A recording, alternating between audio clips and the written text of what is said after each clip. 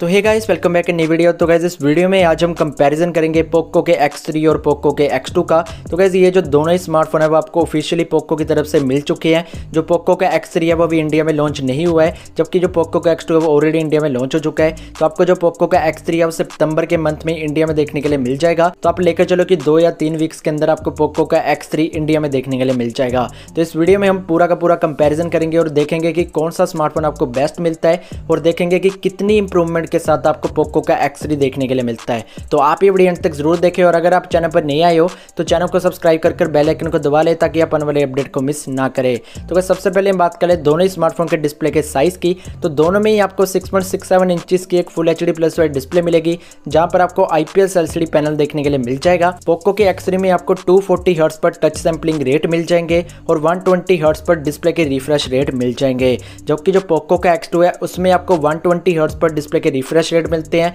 और 120 ट्वेंटी पर ही touch sampling rate देखने के लिए मिल जाते हैं। तो जो डिस्प्ले का आपको रिस्पॉन्स अच्छा देखने के लिए मिलेगा, वो पोको के एक्सरी में देखने के लिए मिलेगा बट ओवरऑल जो आपको डिस्प्ले की क्वालिटी मिलेगी, वो मेरे ख्याल से दोनों में सेम ही देखने के लिए मिलेगी। और रही बात दोनों स्मार्टफ़ोन के प्रोसेसर की तो जो पोको का एक्सरी है, उसमें आपको स्नैपड्रैगन का सेवन वाला प्रोसेसर मिलेगा, जो टू पॉइंट पर क्लॉक्ड है, जबकि जो पोको का एक्स है, उसमें आपको स्नैपड्रैगन का सेवन जी वाला प्रोसेसर मिलता है, जो टू पॉइंट पर क्लॉक्ड है। तो ओवरऑल देखा जाए जो आपको परफॉर्मेंस अच्छी मिलेगी, वो थोड़ी सी पोको के एक्सरी में ज़्यादा देखने के लिए मिलेगी। इतनी भी ज़्यादा आपको परफॉर्मेंस का डिफरेंस नहीं मिलेगा दोनों ही स्मार्टफ़ोन में। और रही बात दोनों स्मार्टफ़ोन के रैम एंड स्टोरेज वेरियंट की तो पोको का जो एक्सरी और जो पोको का एक्स है, इन दोनों में ही आपको सिक्स जी रैम सिक्सटी वाला वेरियंट मिलता है, जिसमें आपको एल पी एक्स वाली रैम दी गई है और यू एफ़ वाली स्टोरेज देखने के लिए मिलती है। जो सेकंड वेरियंट है, वो six G RAM one twenty वाला है और जो थर्ड वेरियंट है, वो आपको इंडिया में भी मिल सकता है, जिसमें आपको एट जी की RAM one twenty eight G की स्टोरेज देखने के लिए मिल सकती है। और रही बात दोनों स्मार्टफ़ोन के कैमरास की तो पोको का जो एक्स है, उसमें आपको 64 मेगापिक्सल का रियर कैमरा मिलता है,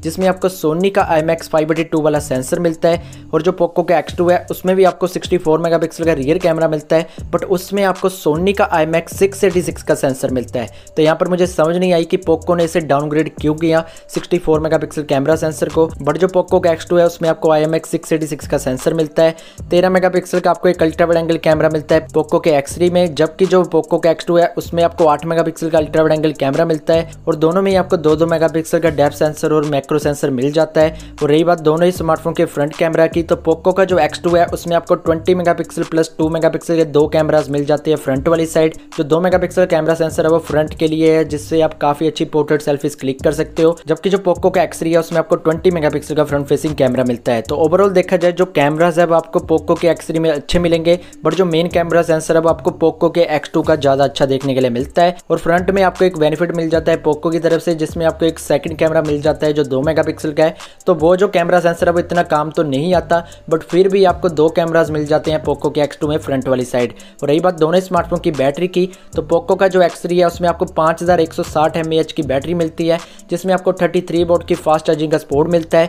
जबकि जो पोको का एक्स है, उसमें आपको चार हज़ार की बैटरी मिलती है, जिसमें आपको ट्वेंटी सेवन की फास्ट चार्जिंग का सपोर्ट मिल जाता है। तो बैटरी और फास्ट चार्जिंग के मामले में आपको पोको का एक्स अच्छा देखने के लिए मिलता है। उस स्मार्टफ़ोन में आपको थोड़ी ज़्यादा बैटरी बैकअप देखने के लिए मिल जाएगा और जो चार्जिंग है वो भी आपको फास्ट देखने के लिए मिल जाएगी। तो ओवरऑल देखा जाए तो इतना बड़ा अपग्रेड आपको नहीं मिलता। अगर आप कंपेयर करते हो पोको के एक्स से तो मेरे ख्याल से इतनी ज़्यादा प्राइस के साथ ये स्मार्टफ़ोन इंडिया में लॉन्च नहीं होना चाहिए। जितनी प्राइस के साथ ये यूरोपियन मार्केट में लॉन्च किया गया है, वहाँ स्मार्टफ़ोन की जो स्टार्टिंग प्राइस है वो आपको उन्नीस हज़ार देखने के लिए मिलती है। बट उन्होंने एक डिस्काउंट भी लगाया हुआ है, जिसकी मदद से आप सत्रह से लेकर अठारह हज़ार रुपये में स्मार्टफ़ोन को परचेज कर सकते हो। वो सिर्फ़ यूरोपियन मार्केट के लिए है। इंडिया में ये जो स्मार्टफ़ोन होगा, वो आपको सितंबर के मंथ में मिल जाएगा। तो आप लेकर चलो कि टू या थ्री वीक्स के अंदर आपको पोको का एक्स इंडिया में देखने के लिए मिल जाएगा। और ये जो स्मार्टफ़ोन है, वो काफ़ी ज़्यादा वेबसाइट पर सर्टिफाइड भी हो चुका है। तो जल्द ही ये जो स्मार्टफ़ोन है आपको इंडिया में मिलेगा। और मुझे लग रहा है जिसकी प्राइस होनी चाहिए इंडिया में जो स्टार्टिंग वेरियंट है, जिसमें आपको सिक्स की रैम सिक्सटी फोर की स्टोरेज मिलती है, उसकी प्राइस आपको सत्रह से लेकर अठारह के बीच में होनी चाहिए। अगर इस प्राइस के साथ ये स्मार्टफ़ोन लॉन्च होता है तो ये ठीक ठाक स्पेसिफिकेशन के साथ आता है। तो गाइज़ आई होप कि आपको ये कंपैरिजन अच्छा लगा हुआ तो इस वीडियो को लाइक कर दीजिए शेयर कर दीजिए और चैनल को सब्सक्राइब भी कर दीजिए और साथ ही बेल को दबा दीजिए ताकि अपन वाले अपडेट को मिस ना करें। थैंक